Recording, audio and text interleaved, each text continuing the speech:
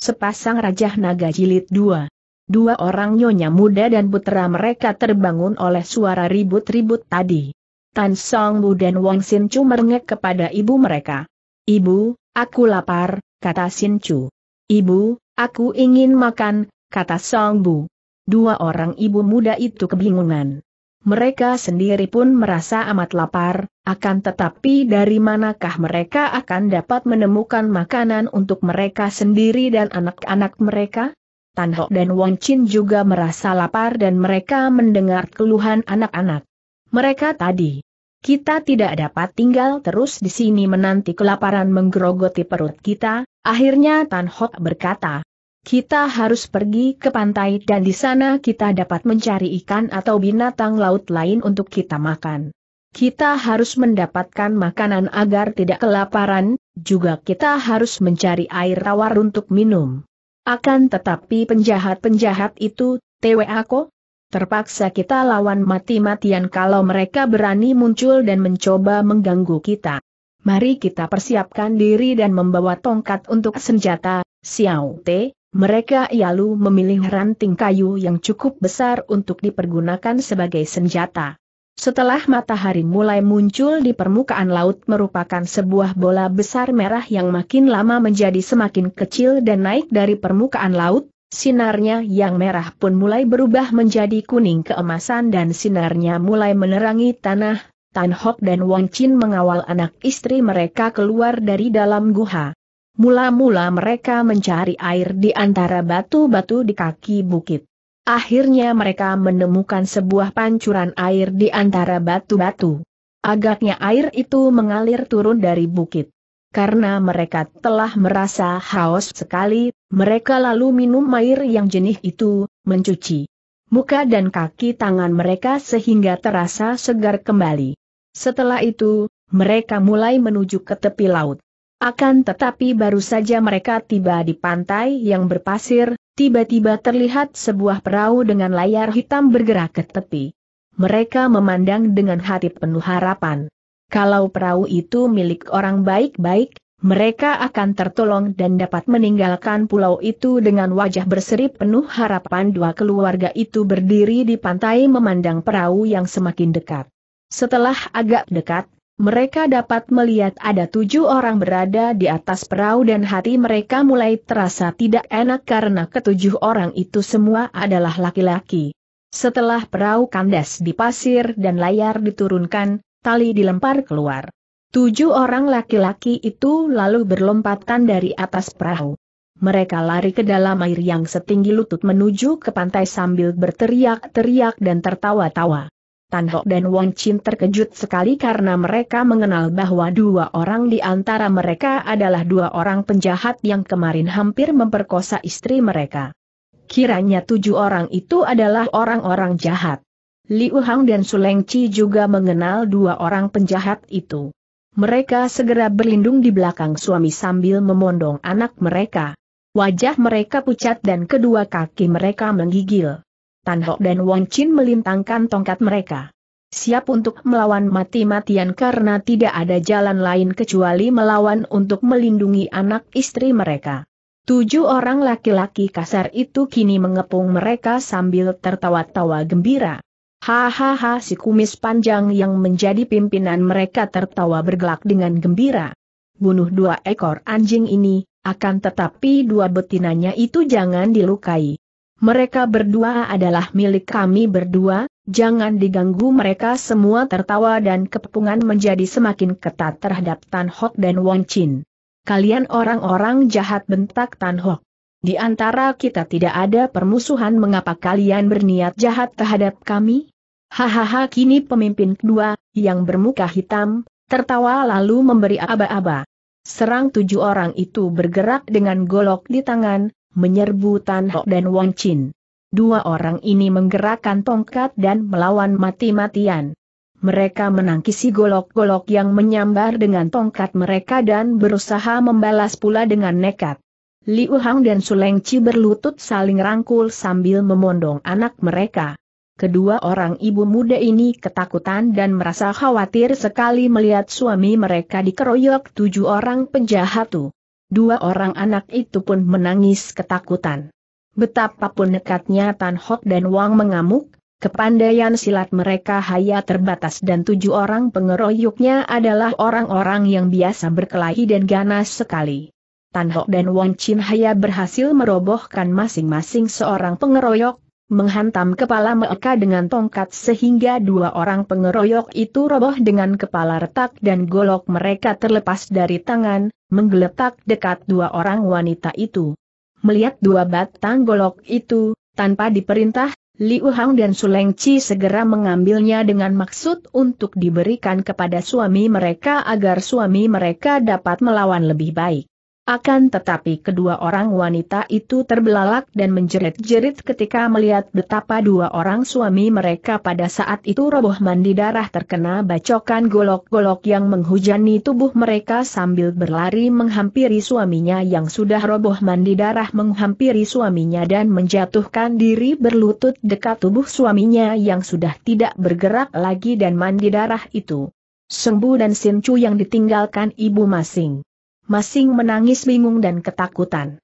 Kedua orang anak berusia tiga tahun itu duduk di atas pasir sambil menangis. Setelah merobohkan Tan Hok dan Wochin, dua orang pimpinan gerombolan itu tertawa bergelak. Mereka berdua menghampiri Liu Hang dan Sulengci. Manis, sudahlah jangan menangis. Suami kalian sudah tewas, akan tetapi ada pengantinya, yaitu kami dan kalian berdua akan hidup senang bersama kami kata si kumis panjang. Tiba-tiba Liu Hang bangkit berdiri dan memutar-mutar golok di tangannya, menyerang para penjahat itu dengan membabi buta. Melihat ini, Suleng Chi juga bangkit dan mengamuk. Dua orang wanita yang melihat suami mereka tewas itu menjadi nekat dan dengan golok di tangan mereka, mereka mencoba untuk menyerang dua orang pimpinan penjahat itu. Akan tetapi tentu saja amukan mereka itu tidak ada artinya. Mereka tidak pernah belajar ilmu silat, bahkan tidak pernah memegang golok. Para penjahat itu mengelak sambil tertawa-tawa mempermainkan sambil mencari kesempatan untuk merampas golok itu dari tangan kedua orang wanita yang mengamuk. Melihat bahwa mereka tidak berdaya dan akhirnya tentu akan tertangkap oleh para penjahat itu, Liu Hang menjadi putus asa. Kalau sampai tertangkap para penjahat itu, ia tentu akan mengalami bencana yang lebih mengerikan daripada mautlah menjadi nekat dan menggorokan golok di tangan kanannya ke lehernya sendiri. Robohlah Liu Hang di atas mayat suaminya, mandi darah. Melihat ini, Sulengci terbelalak, akan tetapi ia pun mengerti mengapa Liu Hang melakukan perbuatan nekat itulah menjadi semakin ketakutan dan tahu nasib apa yang akan dideritanya kalau ia terjatuh ke tangan para penjahat itu. Maka, tanpa pikir panjang lagi, melupakan anaknya dalam keadaan tersudut, Sulengci lalu menggerakkan goloknya, menggorok leher sendiri dan ketika terhuyung, ia menghampiri mayat suaminya dan roboh di atas mayat suaminya. Para penjahat itu terkejut bukan main mereka itu sama sekali tidak menyangka bahwa dua orang wanita itu akan berbuat sedemikian nekatnya membunuh diri. Si kumis panjang dan si muka hitam menjadi terkejut dan menyesal sekali. Mereka telah kehilangan dua orang wanita cantik yang membuatnya tergila-gila dan yang tadinya sudah mereka tentukan akan menjadi istri-istri mereka. Pada saat itu terdengar suara berat dan parau. Kalian manusia-manusia iblis yang jahat semua penjahat yang jumlahnya tinggal lima orang itu karena yang dua orang belum mampu bangun setelah kepala mereka dihantam tongkat oleh Tan Hok dan Wang Chin tadi, membalikan tubuh dan melihat seorang laki-laki setengah tua berdiri di depan mereka. Laki-laki itu bukan lain adalah Aming, tukang perahu yang kemarin terpisah dari dua keluarga itu ketika perahunya pecah. Dia terapung-apung di atas laut, dipermainkan ombak sampai semalam suntuk. Baru pagi ini papan yang dijadikan pegangan itu dapat dia bawa ke tepi dan dia dapat mendarat dalam keadaan selamat. Dia menemukan bekas perapian yang dibuat para penjahat, juga menemukan sisa makanan mereka berupa roti kering. Karena perutnya terasa lapar sekali Aming lalu makan roti kering yang cukup banyak baginya itu sehingga tenaganya pulih kembali. mulailah ia menyusuri pantai untuk mencari kalau-kalau dua keluarga itu ada yang terdampar dan selamat. Tiba-tiba dia mendengar suara tangis dua orang anak itu dan dia lalu berlari cepat menuju ke arah suara itu. Di tepi pantai itu dia melihat pemandangan yang membuat dia marah bukan main. Tan Hok dan Wong Chin beserta istri-istri mereka telah roboh mandi darah dan dua orang anak kecil itu menangis ketakutan di atas pasir. Dan di situ terdapat tujuh orang penjahat, dua di antaranya duduk memegangi kepala mereka yang berdarah. Sekali pandang saja tahulah dia bahwa dua pasang suami istri itu telah dibunuh para penjahat ini dan dua orang anak kecil itu pun terancam keselamatannya. Hal ini membuat dia marah sekali bangkitlah. Watak kependekarannya yang dimiliki ketika dia masih muda dahulu. Bekas guru silat ini melirik ke arah dua batang golok yang menggeletak di dekat mayat dua pasang suami istri itu. Tanpa mengeluarkan suara, tiba-tiba saja dia merebahkan dirinya ke atas pasir lalu bergulingan mendekati mayat-mayat itu. Sebelum para penjahat itu hilang kagetnya dan menyadari apa yang akan dilakukannya, Aming telah melompat bangun lagi dan kini kedua tangannya memegang sepasang golok yang masih berlumuran darah Liu Hang dan Sulengci. Majulah kalian. Aku akan membasmi kalian jahanam-jahanam busuk teriak Aming dengan mata mencorong penuh kemarahan. Lima orang penjahat itu adalah orang-orang kasar yang sudah terbiasa mempergunakan kekuatannya dan sudah terbiasa dalam perkelahian maka mereka tentu saja tidak menjadi takut. Bunuh si kumis panjang membentak. Nanti dulu.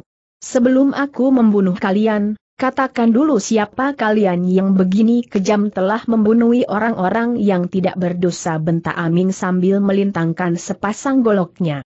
Si kumis panjang dan si muka hitam tertawa bergelak. Mereka berdua adalah kepala-kepala bajak dan perampok yang amat terkenal dan mereka merasa bangga memperkenalkan julukan mereka.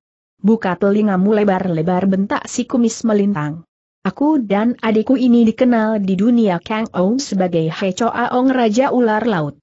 Aku disebut To Aong, Raja Besar, dan adikku ini disebut Xiao Wong, Raja Kecil. Nah, engkau boleh mampus dengan mata terpejam setelah mendengar siapa yang akan membunuhmu si kumis melintang memperkenalkan diri dan si muka hitam. Aming memandang kepada dua orang itu dengan alis berkerut. Hari ini Raja Ular Laut akan menjadi ular mampus teriak Aming dan dia lalu menerjang maju sambil mengayun kedua batang goloknya. Lima orang itu menyambut serangannya dan terjadilah perkelahian yang seru dan mati-matian. Akan tetapi ternyata permainan sepasang golok dari Aming cukup hebat. Biarpun sudah lama dia tidak pernah bersilat, akan tetapi karena dasarnya memang kuat, maka kini dia dapat memainkan sepasang goloknya demikian hebat sehingga lima orang pengeroyoknya itu tidak mampu mendekatinya. Bahkan dua orang pengeroyok telah terserempet golok di pundaknya sehingga terluka dan berdarah melihat ini, si kumis panjang tiba-tiba berseru dengan nyaring. Tangkap dan bunuh dua orang anak itu. Mendengar perintah ini, Aming terkejut sekali dan cepat dia melompat ke dekat dua orang anak itu untuk melindungi mereka. Akan tetapi ternyata teriakan yang merupakan perintah dari Xiao Wong, Raja Besar, yang berkumis panjang itu hanya merupakan pancingan belaka. Setelah Haming melompat ke dekat kedua anak itu untuk melindungi, si tinggi besar memimpin anak buahnya untuk melarikan diri dari situ sambil memarah dua orang kawan mereka yang terluka kepalanya oleh tongkat Tan Hok dan Wong Chin tadi. Melihat ini, biarpun hatinya merasa kecewa, Aming tidak berani melakukan pengejaran. Kalau dia mengejar, siapa yang akan melindungi dua orang anak kecil yang menangis ini? Aming menyelipkan dua batang golok itu di pinggangnya, lalu dia berjongkok dan mengelus kepala dua orang anak kecil itu. Anak-anak yang baik, diamlah jangan menangis. Jangan takut, aku akan melindungi kalian dengan taruhan nyawaku, karena dielus dan dirangkul, kedua orang anak kecil itu menghentikan tangis mereka. Mereka masih terlalu kecil sehingga tidak tahu betapa ayah bunda mereka dibunuh orang di depan mati mereka. Aming lalu pergi menghampiri perahu berlayar hitam yang berada di tepi laut dan dari dalam perahu itu dia mendapatkan sebungkus roti kering. Dia mengambil beberapa potong dan diberikannya kepada dua orang anak kecil itu. Tan Song Bu yang lebih tua beberapa bulan dari Wang Sin Chu, menerima roti kering dan segera memakannya karena dia memang lapar sekali. Akan tetapi Wang Sin Chu menerima roti kering itu dan tidak segera memakannya. Dia menoleh dan memandang ke arah tubuh ayah dan ibunya. Ibu Uu. Ayah Aah dia memanggil dan suaranya mengandung tangis. Aming merangkulnya. Dari sikap kedua orang anak ini saja tahulah dia bahwa Tan Song Bu adalah seorang anak yang tabah dan mungkin berwatak keras, sedangkan Wang Chin Su lebih peka dan perasa dan mungkin berwatak lembut. Sudah, diamlah, Sin Chu anak baik. Makanlah roti itu agar perutmu tidak lapar. Akan tetapi, ayah dan ibu, tanya Sin Chu dengan suara masih agak cadel. Mereka, mereka telah pergi jauh. Tapi, itu mereka bantah Sin U sambil menuding ke arah ayah dan ibunya. Kenapa mereka aming menjadi serba salah? Anak sekecil ini mana mengerti tentang kematian? Mereka sedang tidur. Sudahlah, makan rotimu dan jangan banyak bertanya, katanya. Setelah kedua orang anak itu makan, dia memberi minum dari tempat minum air tawar yang terdapat dalam perahu yang ditinggalkan para penjahat tadi. Kemudian dia menyuruh kedua anak itu duduk di dalam bilik perahu dan berpesan. Aku mau bekerja di pantai. Kalian harus duduk menunggu di sini dan jangan keluar dari perahu. Kalian bisa terjatuh ke dalam air laut kalau kalian keluar. Ingat pesanku, jangan keluar dari sini dan tunggu aku. Setelah selesai bekerja di pantai, aku tentu akan datang ke sini. Dia tidak dapat bercerita panjang dan hanya menekankan agar anak itu mengerti bahwa mereka harus menunggu dalam bilik perahu dan tidak boleh keluar dari situ. Setelah kedua orang anak itu mengangguk-angguk secara meyakinkan, Aming lalu keluar dari perahu. Menuju ke darat dan mulailah dia menggali lubang, agak jauh dari pantai agar kuburan yang dibuatnya itu tidak akan terendam air laut kalau sedang pasang. Dengan menggunakan golok tadi, dia menggali dua buah lubang yang cukup besar, kemudian dengan hati-hati, penuh hikmat dan keharuan, dia lalu menguburkan dua pasang jenazah suami istri itu. Masing-masing pasangan suami istri dia jadikan satu kuburan, dimasukkan dalam satu lubang dan ditimbuni tanah yang mengandung pasir.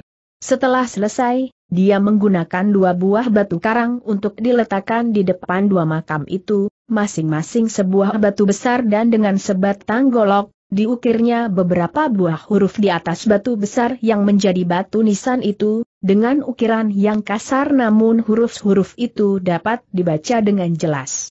Batu nisan di depan kuburan Tan Hok diberi ukiran makam Tan Hok dan istri, dan di batu nisan di depan kuburan Wang Chin diberi ukiran makam Wang Chin dan istri.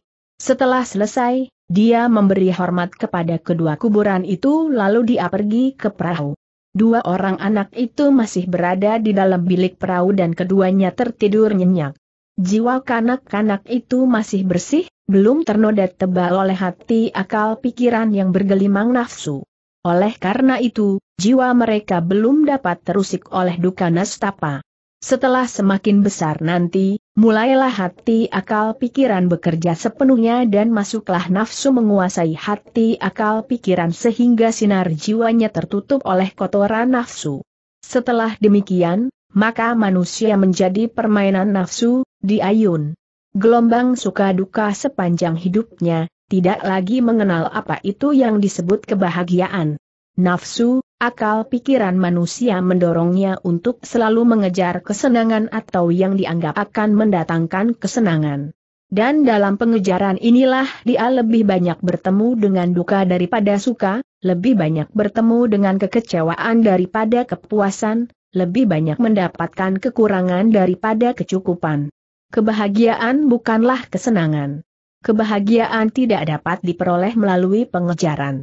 Kebahagiaan adalah, maaf ketikan kurang jelas Yons, dan senantiasa ada pada diri setiap orang manusia.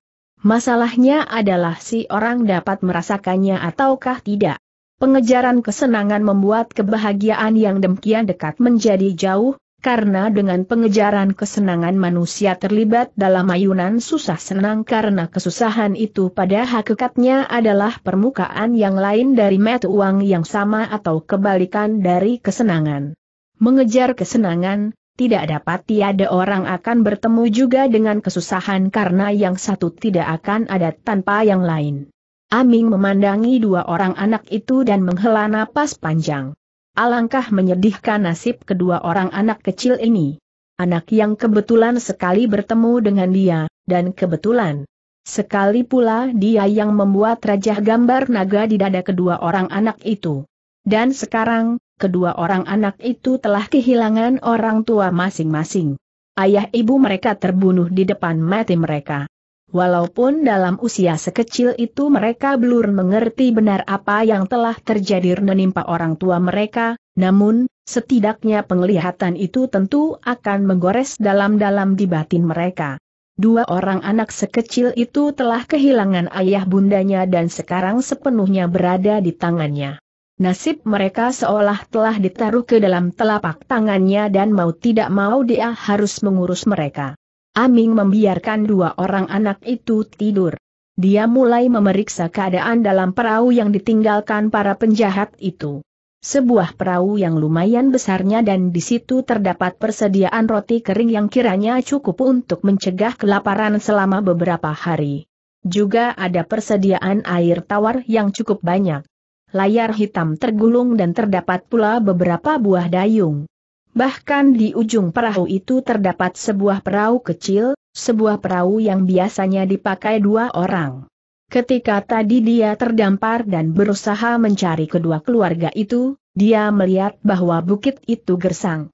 Sebuah pulau yang kosong dan tidak subur seperti itu pasti tidak ada penghuninya. Siapa mau tinggal di sebuah pulau yang tanahnya gersang? Dan di satu bagian yang terdapat pohon-pohon pantai, dia melihat banyak sekali ular besar kecil. Mengerikan sekali. Sebuah pulau penuh ular dan tidak ada penghuninya. Aming mulai melepaskan tali perahu itu, menggulungnya dan menaruh ke dalam perahu. Kemudian dia mendorong perahu ke tengah. Dia harus meninggalkan pulau ular ini. Harus berusaha untuk kembali ke daratan besar, walaupun daratan itu tidak tampak dari situ. Akan tetapi sebagai seorang pelaut yang berpengalaman, dia tahu ke mana dia harus membawa perahunya kalau ingin mencapai daratan besar. Tentu saja ke arah barat. Ini adalah lautan timur, dan tentu saja daratan sebelah barat. Setelah perahu itu terapung di bagian yang lebih dalam, dia lalu naik ke dalam perahu, mendayungnya ke tengah kemudian mengembangkan layarnya yang hitam. Angin lembut bertiup dan jayar mengembang, mendorong perahu melaju menuju arah barat. Air laut tenang dan lembut tidak ada bekas-bekasnya lagi badai yang mengamuk dahsyat pada hari kemarin itu. Setelah perahu meluncur cepat beberapa lamanya, Aming yang memegang kemudi dan selalu memandang ke depan, ke arah barat, tiba-tiba berseri wajahnya. Dia melihat bayang-bayang daratan di sana. Bayangan hitam memanjang. Bagus, pikirnya. Dia akan segera mendarat dan kalau sudah berada di daratan besar sana, baru akan dia carikan jalan keluar akan masalah yang dia hadapi ini, yaitu merawat dan memelihara dua orang anak kecil. Dia akan mencari keluarga-keluarga baik-baik yang kiranya akan suka dan mampu menerima anak-anak itu sebagai anak angkat mereka. Dia tidak berani membawa anak-anak itu ke kota raja dari mana mereka berasal dia tidak berani mencari keluarga orang tua anak-anak ini. Bukankah orang tua mereka telah menjadi buronan? Kalau pihak musuh keluarga itu mengetahui bahwa dua orang anak itu adalah putra keluarga Tan Hok dan Wang Jin, tentu kedua anak itu akan menghadapi ancaman pula. Bayangan hitam itu semakin lama menjadi semakin jelas. Sebentar lagi dia akan mencapai daratan itu. Terdengar suara dan ketika dia memandang ke arah bilik, Sembu dan Sincu berjalan keluar dari bilik sambil menggosok-gosok kedua mata mereka, ketika mereka berdua melihat Aming yang duduk di buritan, tertatih-tatih mereka menghampiri. Kakek, aku haus kata Song Bu. Aku juga, kata pula Sin Chu. Aming meraih sebuah guci kecil yang sudah diisi air tawar. Ke sinilah ini air untuk kalian minum, katanya sambil tersenyum. Kedua orang anak itu menghampiri dan Aming memberi mereka minum langsung dari mulut guci ke mulut mereka yang kecil. Setelah minum, kedua orang anak itu duduk di depan Aming. Kakek, aku ingin ikut ayah dan ibu berkata pula Song Bu. Aku ingin ikut mereka, kata Sin Chu. Di mana ayah dan ibuku? Ayah ibu kalian sudah pergi ke sana lebih dulu, kata Aming sambil menunjuk ke depan, ke arah daratan. Kalian jangan rewel dan aku akan membawa kalian menyusul ayah ibu kalian, akan tetapi tiba-tiba Aming mengerutkan alisnya dan memandang ke depan dengan sinar mata penuh keraguan dan kekhawatiran. Ada sebuah perahu layar besar datang dari depan. Tentu saja dia akan merasa girang sekali kalau saja perahu itu merupakan perahu yang ditumpangi penduduk pantai biasa, atau perahu pedagang. Akan tetapi yang mencemaskan hatinya adalah melihat perahu itu bercat hitam dan juga berlayar hitam seperti perahu yang dikemudikannya. Dan biasanya, perahu yang serba hitam seperti itu adalah perahu bajak laut. Setelah perahu besar itu agak dekat dan dia dapat melihat wajah orang-orang yang berada di perahu, jantungnya berdebar keras penuh ketegangan. Dia mengenal Xiao Wong dan Xiao Wong berada di antara belasan orang yang sedang berdiri di perahu hitam itu. Dan agaknya kedua orang itu kini sudah yakin bahwa dia berada di perahu itu bersama dua orang anak kecil yang duduk di depannya karena terdengar dua orang itu mengeluarkan bentakan-bentakan dan belasan orang di atas perahu itu mulai bergerak. Tiba-tiba dari perahu besar itu meluncur banyak anak panah menuju ke perahunya, Aming terkejut. Mereka menyerang dengan anak panah. Sungguh membahayakan keselamatan dua orang anak itu. Dia menyambar dua orang anak itu dengan kedua tangannya dan membawanya lari ke dalam bilik untuk berlindung dari hujan anak panah. Dia sama sekali tidak berdaya untuk membalas serangan mereka. Tiba-tiba terdengar orang-orang bersorak dari perahu besar itu dan dengan kaget Aming melihat kobaran api pada layar perahunya. Celaka, mereka menggunakan anak panah berapi serunya sambil mengutuk dia harus bertindak cepat. Kalau perahunya terbakar, dia dan dua orang anak itu akan celaka. Dia teringat akan perahu kecil yang berada di luar bilik. Pikirannya berjalan cepat dan dia sudah mengambil keputusan kilat. Cepat dia menyelinap keluar dari bilik, melepaskan ikatan perahu kecil itu. Kemudian dia memondong dua orang anak kecil, menyelinap ke belakang perahu, menurunkan perahu kecil dan memasukkan dua orang anak itu ke dalam perahu kecil. Kemudian dia didorongnya perahu kecil itu menjauhi perahunya. Perahu terbawa ombak, menjauh dari perahu yang mulai terbakar tiang layarnya itu. Sejenak ia memandang ke arah perahu kecil yang semakin menjauh dan hatinya merasa iba sekali kepada dua orang anak itu. Semoga Tian melindungi kalian katanya dan hatinya seperti ditusuk rasanya ketika mendengar dua orang anak itu mulai menangis dan memanggil-manggil ayah ibu mereka. Dia lalu melompat keluar dari balik bilik sambil membawa sebatang dayung. Begitu dia muncul, belasan batang anak panah menyambar ke arah dirinya. Akan tetapi dia memutar dayungnya dan belasan batang anak panah itu runtuh. Jahanam busuk kalian. Hayo kalau memang kalian berani, naiklah ke perahu ini dan kita bertanding sampai seribu jurus terantangnya dengan marah sekali. Akan tetapi, jawaban yang didapat hanya anak panah yang menyambar-nyambar dan di antaranya terdapat anak panah yang membawa api. Kebakaran terjadi di mana-mana dalam perahu itu dan akhirnya Aming dikepung api tidak mungkin dapat dia pertahankan lagi atas perahu itu dan terpaksa dia lalu melompat keluar.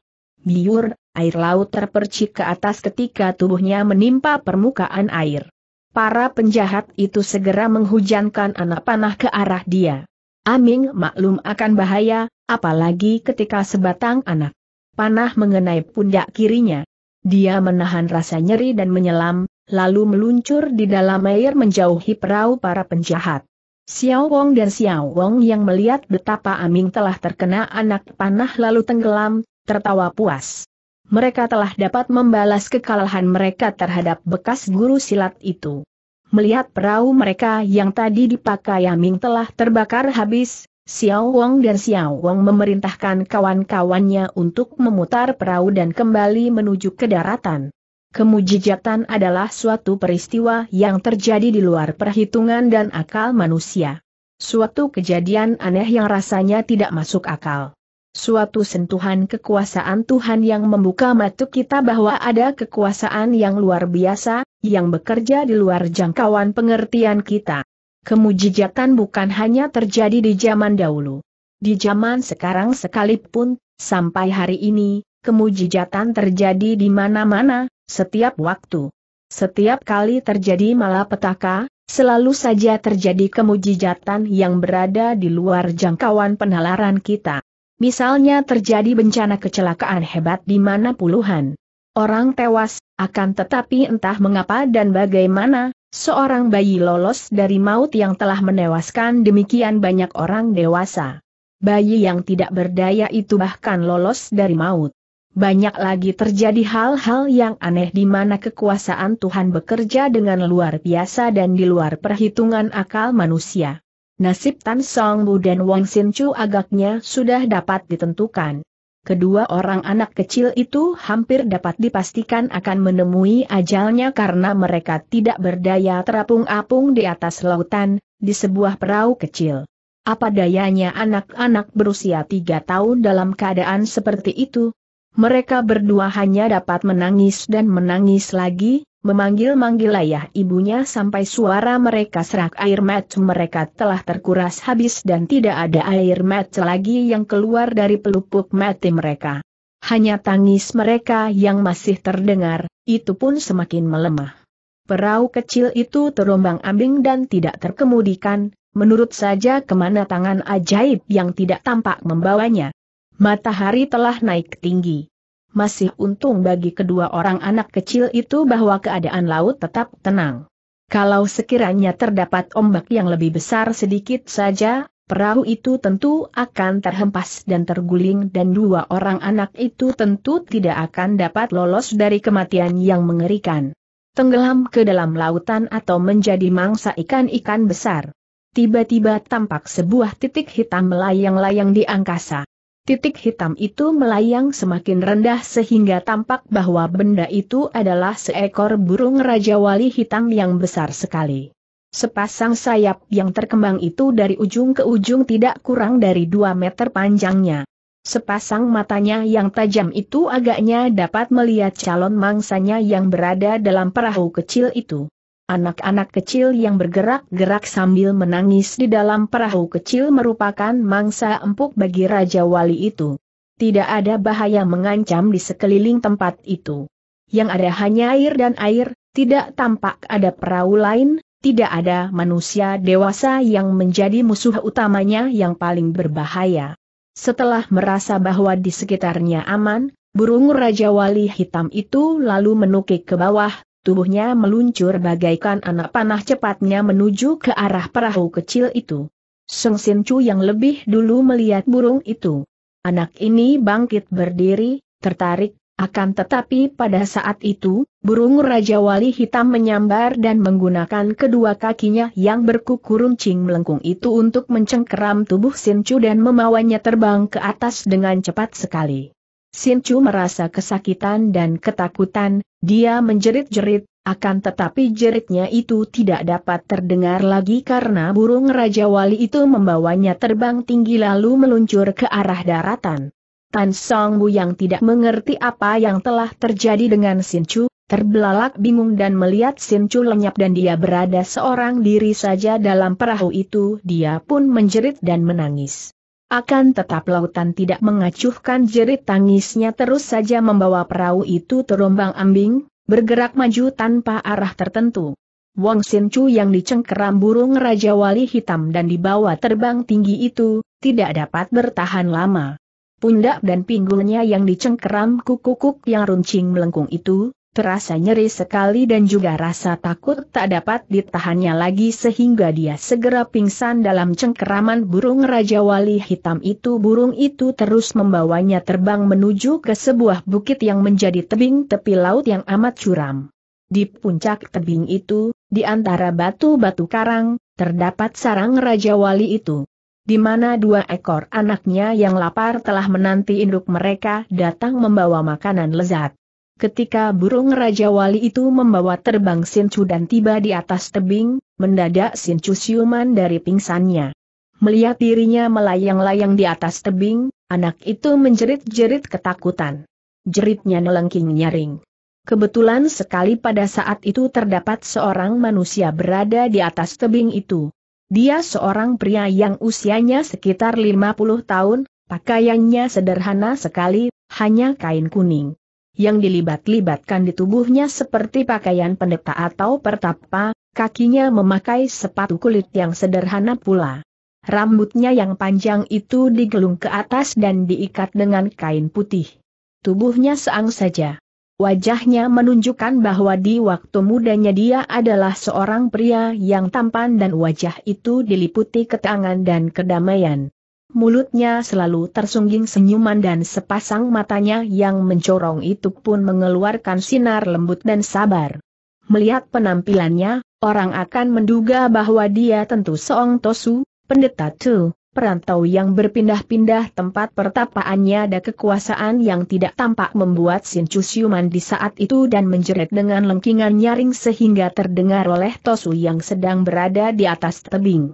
Kita akan menganggap semua itu sebagai suatu hal yang kebetulan saja. Justru kebetulan itulah mujizat yang telah diatur oleh kekuasaan Tuhan. Mendengar jerit tangis itu, Tosu tadi menengadah dan sepasang matanya terbelalak ketika dia melihat seekor burung Raja Wali hitam terbang di atas tebing dan kedua kaki burung raksasa itu mencengkeram seorang anak kecil. Siancai, damai dia berseru dan tubuhnya bergerak cepat sekali, mendaki tebing yang amat curam itu dengan gerakan yang amat cekatan, tiada ubahnya seperti seekor monyet.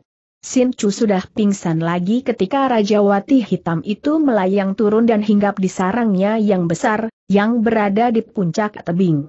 Kedua anaknya mengeluarkan bunyi cecowatan menyambut kedatangan sang induk dengan girang karena induk mereka membawa makanan yang lezat.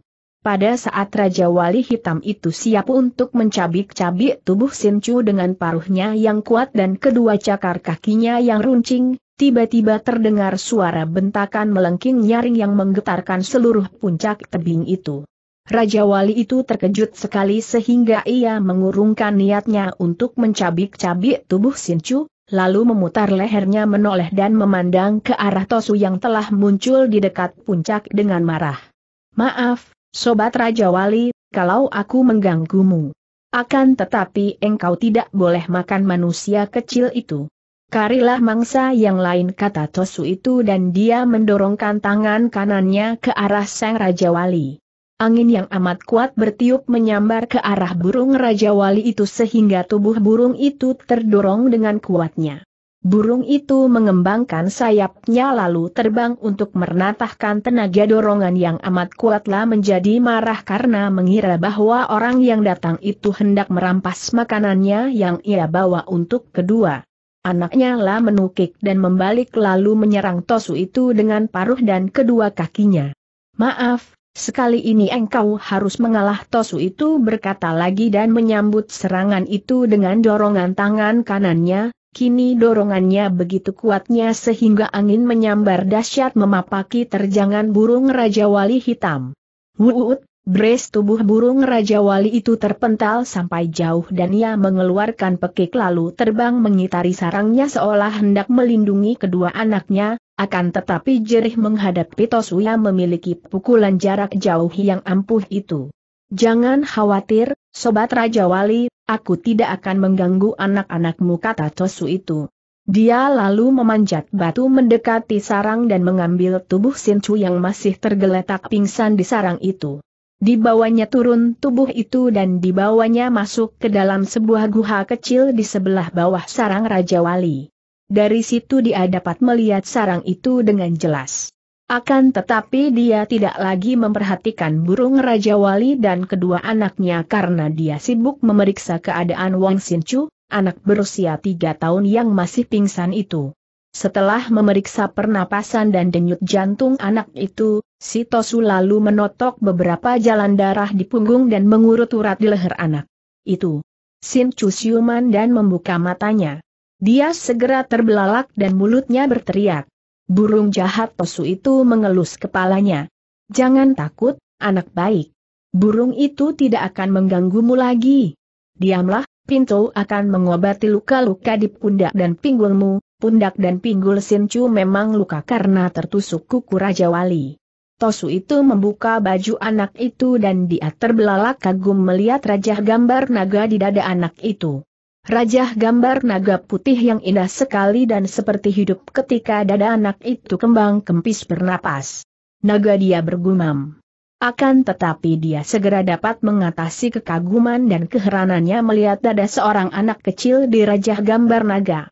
Dia mengeluarkan buntalan yang digendong di punggungnya dan membuka buntalan kain kuning dan mengeluarkan roti kering, sayur kering dan obat bubuk berwarna putih.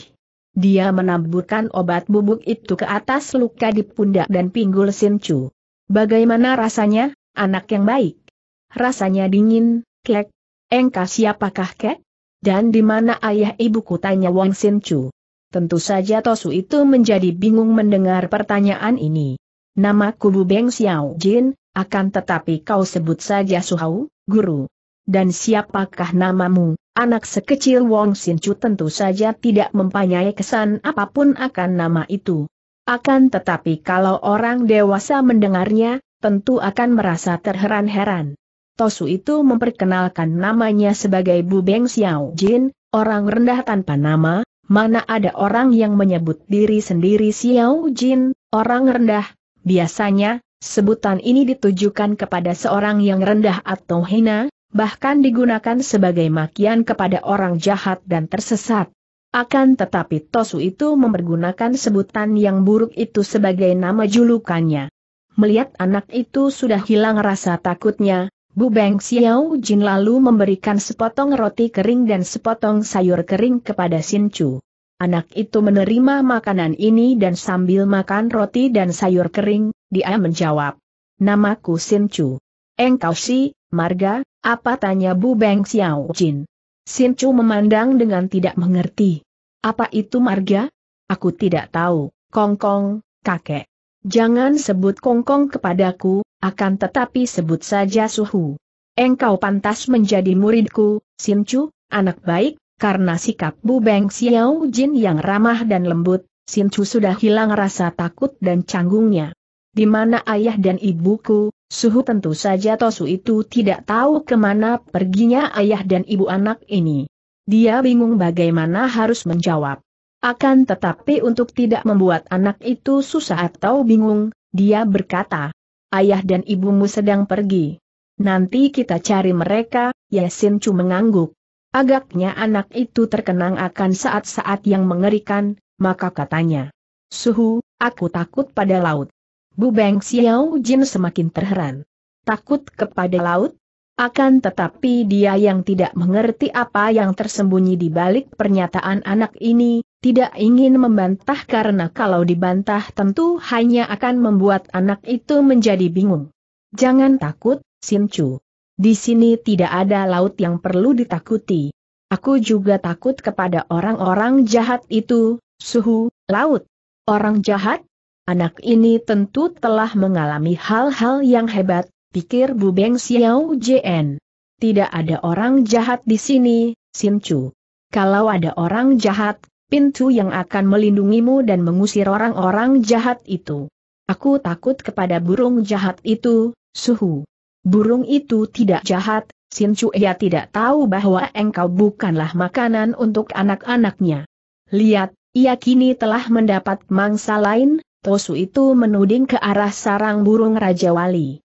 Sin Chu mengangkat mukanya memandang dan matanya yang kecil itu menunjukkan sikap ngeri melihat betapa Raja Wali hitam tadi kini mencengkeram seekor kelinci. Kelenci itu diturunkan di atas sarang dan kini paruh dan cakar Raja Wali Hitam mulai mencabik-cabik kelinci itu. Burung jahat Sincu berseru dan menutupi mukanya dengan tangan. Hati anak kecil yang peka itu tidak tahan melihat kelenci itu berkelojotan ketika kulit dagingnya dicabik-cabik dan berdarah-darah. Bu Beng Xiao Jin menghela napas panjang dan berkata lirih, lebih kepada diri sendiri untuk menenteramkan hatinya yang juga terasa ngeri menyaksikan pemandangan itu, daripada bicara kepada Sincu. Sama sekali tidak jahat. Kelinci itu memang mangsanya, makanannya. Kalau ia pulang ke sarangnya tanpa membawa mangsa, anak-anaknya akan mati kelaparanlah menangkap mangsa dan memakannya karena memang itu makanannya, penyambung hidupnya lah tidak dapat makan buah-buahan atau daun-daunan seperti kera atau kerbaula memang diciptakan dalam keadaan seperti itu. Tidak, Raja Wali, harimau, serigala, burung pemakan bangkai dan segala binatang pemakan daging mentah, sama sekali tidak kejam atau jahat. Keadaannya sejak lahir memang mengharuskan ia makan mangsa seperti itu, kalau tidak mereka akan mati kelaparan. Mereka tidak sejahat manusia yang makan segala macam bukan karena tuntutan perut melainkan tuntutan mulut yang penuh nafsu ingin makan enak. Tentu saja Sincu tidak mengerti akan semua kata-kata itu, bahkan tidak memperhatikan, akan tetapi anak itu lalu bangkit dan mengambil beberapa buah batu. Dia melemparkan batu-batu itu ke arah sarang burung dan tiada hentinya mengatakan burung jahat. Tentu saja sambitan batu kecil itu tidak ada artinya bagi Raja Wali dan anak-anaknya yang sedang makan daging kelenci dengan lahapnya. Melihat ini, Bu Beng Xiao Jin mengangguk-angguk dan wajahnya berseri gembira. Dia melihat bahwa Sin Chu adalah seorang anak yang peka sekali perasaannya, mudah terharu dan mudah bangkit rasa ibanya, tidak tega melihat kekejaman, akan tetapi juga berwatak gagah sehingga untuk membela kelenci yang menjadi korban itu dia lupa akan rasa takutnya dan berani menyerang Raja Wali Hitam dengan sambitan batu. Bagus, anak ini memiliki dasar watak yang baik dan memang pantas menjadi muridnya pantas mewarisi ilmu-ilmu yang pernah dia pelajari selama bertahun-tahun. Selain memiliki dasar watak yang baik, Sincu ternyata merupakan seorang anak yang tahan menderita. Dia seolah telah melupakan luka-luka di pundak dan pinggulnya, padahal, biarpun sudah diberi obat yang manjur, tentu luka-luka itu masih terasa pedih dan kaku. Melihat anak itu tampaknya sudah kuat, Bu Beng Xiao Jin lalu memegang tangan Sincu dan berkata, Sincu, marilah kita pergi dari sini. Ke mana, Su? Pergi mencari ayah dan ibu? Ya, benar. Kita pergi mencari ayah dan ibumu. Tahukah engkau, siapa nama ayahmu Sincu mengangguk? Biarpun suaranya masih agak cadel, namun dia dapat menyebut nama ayahnya dengan jelas. Ayah bernama Wang Chin, di mana tinggalnya? Tinggalnya, di perahu. Ah perahu dan laut jahat, aku takut, suhu. Apa yang terjadi? Dapatkah engkau menceritakan padaku si Chu menggeleng kepala dan wajahnya membayangkan ketakutan sehingga Bu Beng Xiao Jin tidak mendesak lagi. Dia memondong anak itu dan membawanya menuruni tebing itu. Sudahlah, kalau tidak tahu juga tidak mengapa.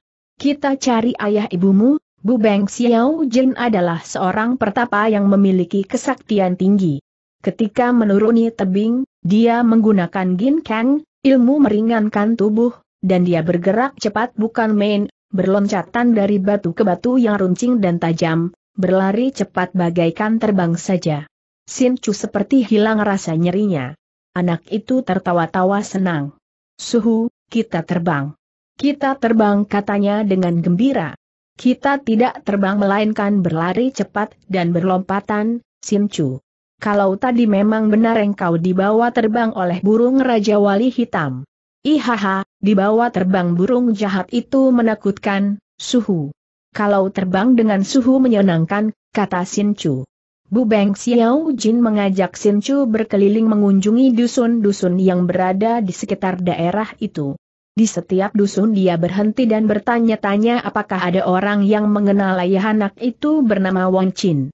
Kini dia tahu bahwa nama lengkap anak itu adalah Wong Sin Chu. Akan tetapi sampai berhari-hari dia berkeliling dari dusun ke dusun, tidak ada orang yang mengenal Wong Sin Chu maupun mendengar tentang ayah anak itu yang bernama Wang Chin. Tosu itu lalu teringat akan kata-kata Sin Chu yang bicara tentang perahu dan laut. Tentu anak itu pernah naik perahu di laut, pikirnya. Maka dia lalu mengajak Sin Chu menuju ke timur. Laut timur tidak jauh dari pedusunan yang dikunjunginya itu. Bahkan tempat di mana dia menemukan Sincu, di puncak tebing itu pun merupakan tepi laut. Kini dia pergi ke tepi laut di sebelah bawah tebing. Dia menyusuri tepi laut untuk melakukan penyelidikan. Akan tetapi tepi laut bagian itu sepi dari pedusuran sehingga dia tidak dapat menemukan apa-apa. Setelah jauh dari daerah itu, barulah dia menemukan akan tetapi di sini pun tidak ada orang yang mengenal Sin Chu, tidak ada orang yang pernah mendengar akan nama Wong Chin. Telah kurang lebih tiga bulan lamanya Bu Beng Xiao Jin membawa Sin Chu berkeliling ke banyak kota dan dusun mencari orang tua anak itu, akan tetapi semua usahanya sia-sia. Tidak ada orang mengenal Wong Chin. Pada suatu pagi, kakek itu duduk di tepi pantai berpasir, memandang ke arah laut dan termenung. Sungguh suatu pertemuan yang ajaib sekali. Dia menemukan Sincu di gondol burung Raja Wali Hitam, hampir saja menjadi mangsa burung itu dan anak-anaknya. Dan Sincu, bocah berusia tiga tahun itu mempunyai raja gambar naga putih di dadanya. Bicara tentang perahu dan lautan dan orang-orang jahat, akan tetapi tidak dapat menceritakan dengan jelas apa yang telah dia alami. Tidak diketahui asal-usulnya dan mencari orang tua anak itu pun sampai tiga bulan sama sekali tidak ada hasilnya, seolah-olah anak itu dikirim oleh para dewa ke tangannya. Suhu, di mana ayah ibu? Kenapa kita tidak bertemu dengan ayah dan ibu tiba-tiba Sin Chu yang duduk di atas pasir, di sebelah kirinya, bertanya sambil menyentuh tangan Bu Beng Xiao Jin. Bu Beng Xiao Jin mengelus rambut kepala Sin Chu. Sincu, anak yang baik. Agaknya ayah ibumu pergi jauh sekali dan sampai sekarang belum kembali. Karena itu engkau sekarang ikut saja dengan aku sambil menanti kembalinya ayah ibumu. Engkau mau ikut dengan aku, bukan Sincu berdiri dan merangkul Bu Ben Xiao Jin. Aku mau, suhu, suhu baik, Bu Beng Xiao Jin tertawa bergelak lalu memondong tubuh anak itu dia merasakan suatu perasaan gembira yang selama ini belum pernah dia rasakan. Sudah lebih dari 20 tahun dia hidup sebatang kera, tanpa keluarga, merantau di seluruh negeri, tenggelam ke dalam kesunyian, dan lupa bagaimana rasanya gembira dan berduka. Akan tetapi, setelah bertemu Sincu ada sesuatu yang terasa olehnya, suatu yang mengusik hatinya dan mendengar Sincu suka ikut dengannya dan menganggapnya baik, Entah mengapa dia merasa gembira bukan main. Perasaan yang sudah puluhan tahun tidak pernah dirasakannya. Sambil tertawa-tawa, Bu Beng Xiao Jin yang memondong tubuh Sin Chu lalu lari dengan kecepatan luar biasa meninggalkan pantai itu, menuju ke barat. Karena dia mengerahkan ilmunya ketika berlari, maka dia seperti terbang saja. Sin Chu berteriak-teriak kegirangan ketika dibawa lari secepat terbang itu. Sebentar saja, tubuh mereka hanya tampak sebagai setitik warna kuning jubah kakek itu dan tak lama kemudian titik itu pun lenyap.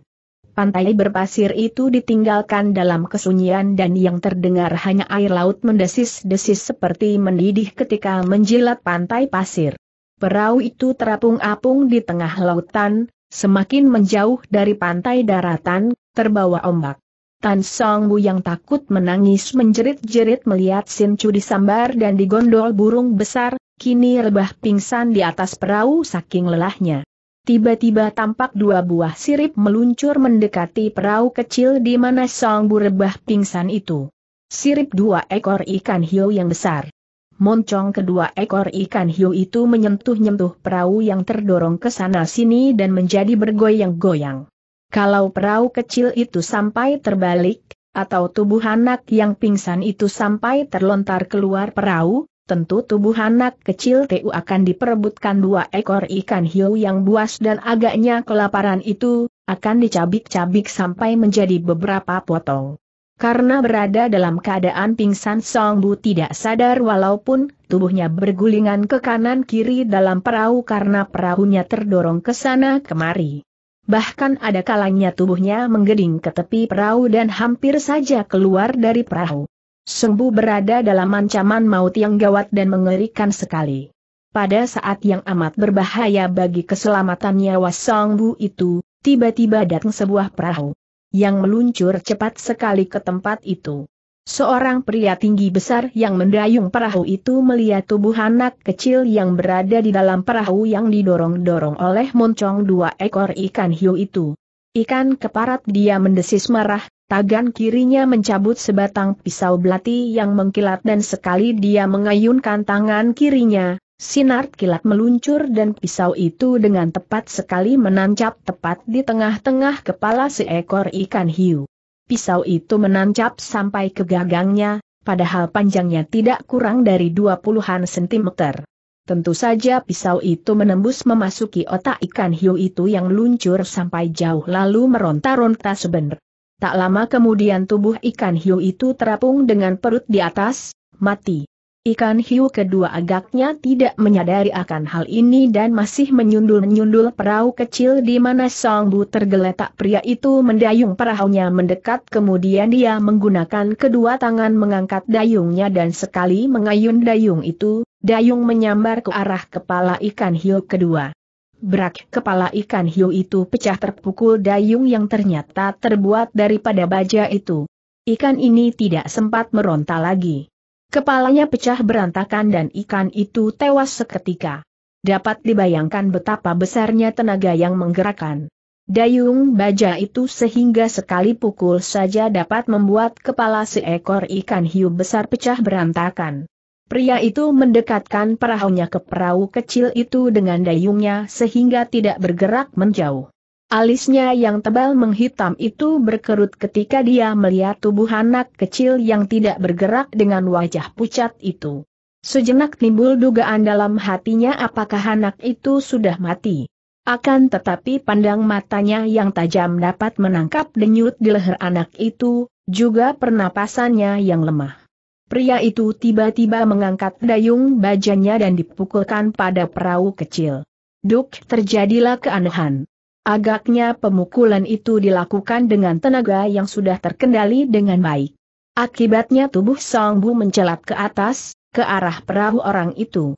Dengan tangan kirinya, pria itu menyambar tubuh Song Bu, menangkapnya lalu meletakkannya di dalam perahu, di depan kakinya. Dia pun mulai memeriksa, meraba dada dan leher anak itu. Lemah, dan mengalami guncangan hebat, pikirnya. Dia menggunakan jari tangan kirinya untuk menotok pundak dan mengurut punggung. Sembu mengeluh lirih dan membuka kedua matanya, akan tetapi lalu dipejamkannya kembali. Pria itu meraba dada Songbu. Denyut jantungnya amat lemah. Dia lalu membuka baju Songbu. Dan dia terbelalak melihat rajah gambar naga hitam yang amat indah dan seperti hidup itu. Hem, naga hitam gumamnya, kagum sejenak. Akan tetapi dia lalu menempelkan telapak tangan kirinya di dada Song Bu, menyalurkan tenaga saktinya untuk membantu bekerjanya jantung dan kelancaran jalan darah anak itu. Beberapa menit kemudian wajah Song Bu sudah tampak merah dan anak itu kembali siuman, mengeluh dan membuka matanya. Pria itu sudah mengangkat tangannya dan menutupkan kembali baju Song Bu. Melihat pria itu, Song Bu segera bangkit, menatap wajah pria itu penuh selidik. Apakah engkau orang jahat tanyanya agaknya teringat akan orang-orang yang mengeroyok ayah ibunya pria itu tertegun, kemudian tertawa bergelak. Tawanya bebas lepas dan seperti bergemuruh di permukaan air laut itu. Pria itu sesungguhnya bukan orang sembarangan. Dunia Kang Ou, sungai, telaga, persilatan, sudah mengenal nama besarnya sebagai seorang datuk persilatan yang disegani dan ditakuti, terutama di wilayah timur dan di sepanjang pantai laut timur. Namanya adalah Hou Yang Li, akan tetapi dia lebih terkenal dengan julukannya, yaitu Tung Hai Tok, racun laut timur. Dia pun terkenal sebagai majikan dari Pulau Naga, sebuah pulau di lautan timur yang tidak berapa besar akan tetapi memiliki tanah yang subur. Di pulau itu terdapat perbukitan yang memanjang sehingga kalau pulau itu tampak dari jauh, bentuknya seperti seekor naga karena bentuk inilah maka pulau itu dinamakan Pulau Naga. Ouyang Li atau Tung Hai Tok tinggal di pulau yang sudah diakui sebagai miliknya itu bersama dua orang istrinya. Dari mereka dia memperoleh dua orang anak, kesemuanya perempuan. Yang satu berusia satu tahun dan yang lain baru berusia dua bulan. Selain dua istri dan dua anaknya, di rumahnya yang berbentuk gedung besar itu tinggal pula beberapa orang pelayan. Dan di bagian belakang gedung terdapat rumah-rumah pondok yang menjadi tempat tinggal para anak buahnya yang berjumlah tidak kurang dari 50 orang. Tung Hai Tok Yang Li terkenal sebagai seorang datuk yang seperti juga para datuk persilatan lainnya, berwatak aneh sekali. Sukar untuk menilai apakah dia orang yang berhati baik atau jahat.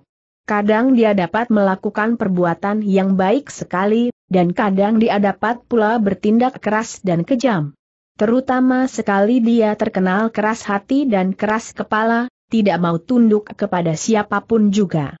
Dan dia terkenal sekali karena kesaktiannya. Dia memiliki tenaga sakti yang amat kuat dan dia terkenal sebagai ahli racun sehingga mendapat julukan racun Laut Timur. Senjanya ada dua macam, yaitu dayung baja yang biasa dipergunakan untuk mendayung perahu, dan sebatang pedang yang jarang dia pergunakan karena sekali pedang itu dicabut, harus ada orang yang tewas menjadi korban. Sebagai seorang majikan Pulau Naga, dia pun terkenal kaya raya dan ada cerita tersiar di dunia Kang Ong bahwa tokoh ini pernah menemukan harta karun dari perahu kuno yang tenggelam, kemudian dapat diangkatnya dan harta karun yang berada dalam perahu menjadi miliknya. Akan tetapi ada pula yang mengabarkan bahwa anak buah Pulau Naga suka melakukan penghadangan terhadap perahu-perahu besar yang membawa barang-barang para saudagar dan merampoknya atau setidaknya menuntut semacam upeti. Mendengar pertanyaan dari Song Bu apakah dia seorang jahat, Tung Hai Tok Yang Li tertawa bergelak. Dia merasa lucu sekali, ketika melihat anak laki-laki yang tampan dan bertulang besar ini, Apalagi melihat Raja gambar naga hitam di dadanya, sudah timbul rasa suka di hatinya. Dia tidak mempunyai anak laki-laki yang sudah lama didambakannya, dan anak laki-laki yang ditemukannya ini merupakan anak yang istimewa dan aneh. Hahaha, engkau boleh menyebut aku orang jahat atau orang baik, sama saja akan tetapi bagaimana engkau dapat berada di perahu ini seorang diri? Siapakah namamu? Namaku Song Bu, siapa nama ayahmu? Ayah bernama Tan Hok. Di mana sekarang ayah ibumu? Ayah dan ibu dipukuli orang-orang jahat, Sembu terisak, paman bawalah aku kepada ayah dan ibu. Hem, bagaimana engkau bisa berada di pulau kecil itu seorang diri? Apa yang telah terjadi ditanya demikian, Tan Song Bu yang baru berusia tiga tahun itu menjadi bingung dan tidak dapat menjawab. Ouyang Li juga tidak bertanya lebih jauh. Anak ini bernama Tan Song Bu. Ayah dan ibunya entah berada di mana. Dia tidak peduli. Dia telah menemukan anak ini dan menyelamatkan dari ancaman bahaya maut di moncong ikan-ikan hiu. Dia berhak atas anak ini. Sembu, mulai sekarang engkau ikut denganku. Akan tetapi aku mau ikut ayah dan ibu. Nanti kita cari atau kita tunggu ayahmu datang. Sekarang mari ikut aku dan engkau akan kujadikan muridku. Sebut aku. Suhu Song Bu adalah seorang anak yang tabah dan keras hati. Juga dia cerdik. Dia takut ditinggal sendiri di perahu dan orang ini pasti bukan orang jahat. Buktinya tidak mengganggunya. Maka dia pun menurut. Suhu katanya tanpa mengetahui apa artinya sebutan guru itu. Ouyang Li menjadi girang sekali.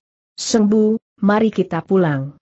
Engkau akan kuperkenalkan kepada dua orang subomu, ibu gurumu, dan kedua orang sumoimu, adik perempuan seperguruan. Setelah berkata demikian, Datuk ini menggerakkan dayung bajanya dan perahu itu meluncur dengan amat cepatnya, seperti anak panah terlepas dari busurnya, menuju ke Pulau Naga yang sudah tampak dari situ. Setelah tiba di perairan Pulau Naga, di situ terdapat banyak perahu. Perahu-perahu itu milik anak buah Pulau Naga yang bertugas mencari ikan. Para anak buah Pulau Naga itu setiap hari bekerja, ada yang mencari ikan dan ada pula yang bercocok tanam di pulau. Kalau ada berita angin bahwa anak buah Pulau Naga suka membajak kapal-kapal dagang, hal itu sebenarnya tidak tepat benar. Yang benar, di daerah perairan itu memang terdapat banyak bajak laut, baik bajak laut bangsa sendiri maupun bajak-bajak laut dari Jepang.